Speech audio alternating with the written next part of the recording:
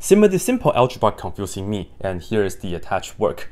And I will tell you, I was so confused at first because I didn't realize that they were using lowercase xyz and also uppercase xyz. So I was like, huh, how did they get that? It's like 1 over x plus 1 over y plus 1 over z is equal to 0. But anyway, let's go over this. First, we are given this information. We have the x over a plus y over b plus z over c is equal to 0. And then if you do the reciprocal, we have a over x plus b over y plus c over z. That will be equal to 1. Pretty cool in my opinion. And then here, we are trying to get a squared over x squared and then b squared over y squared plus z squared over z squared.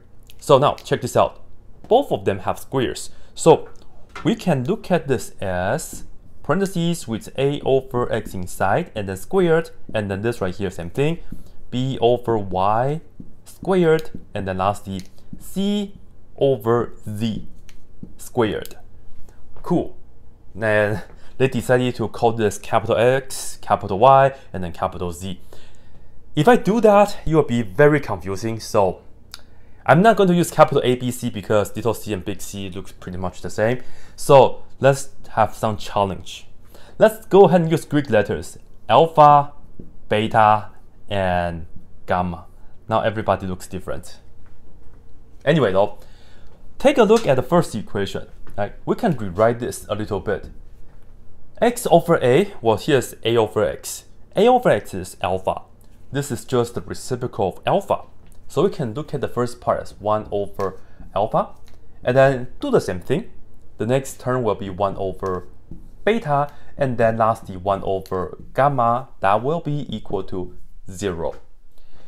And uh, you can just kind of combine like terms a little bit, combine the fractions. So you end up with alpha, beta, and gamma on the bottom. For this right here, I need to multiply beta and gamma. So let's go ahead and do beta and gamma. So we have beta and gamma here. Here we have beta already, we need alpha and gamma. So this right here, we need alpha and gamma. So plus alpha and gamma. And lastly, we need the alpha and beta, alpha and beta. So alpha and beta, and that's equal to zero. Here we have a fraction and it's equal to zero. The only way for this to happen is the numerator is equal to zero. So we must have, let's write this down first, yeah? So we have alpha beta plus alpha gamma and then plus beta gamma equals zero. So that's one of the questions. Yeah, they use capital X, Y, and Z for that. But anyway, though. yeah, anyway. So that's that. Now, let's take a look at this equation.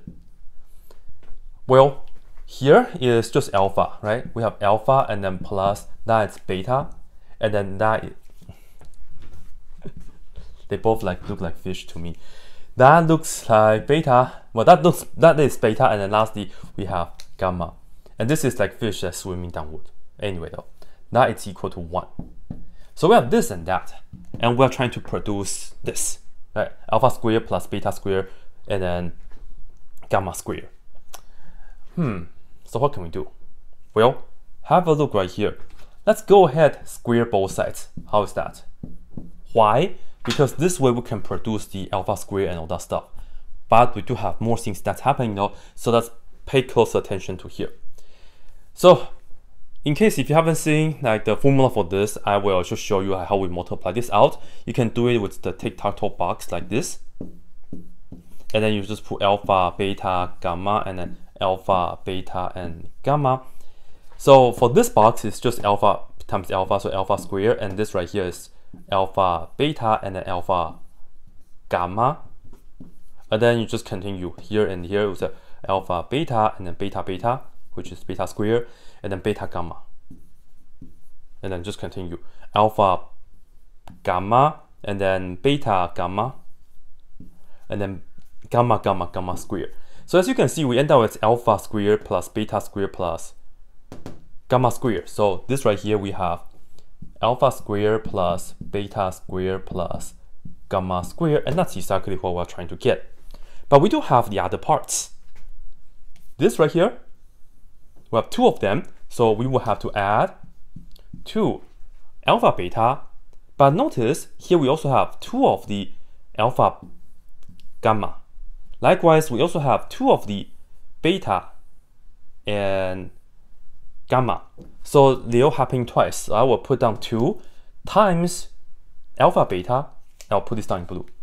Alpha beta plus alpha gamma and lastly beta gamma.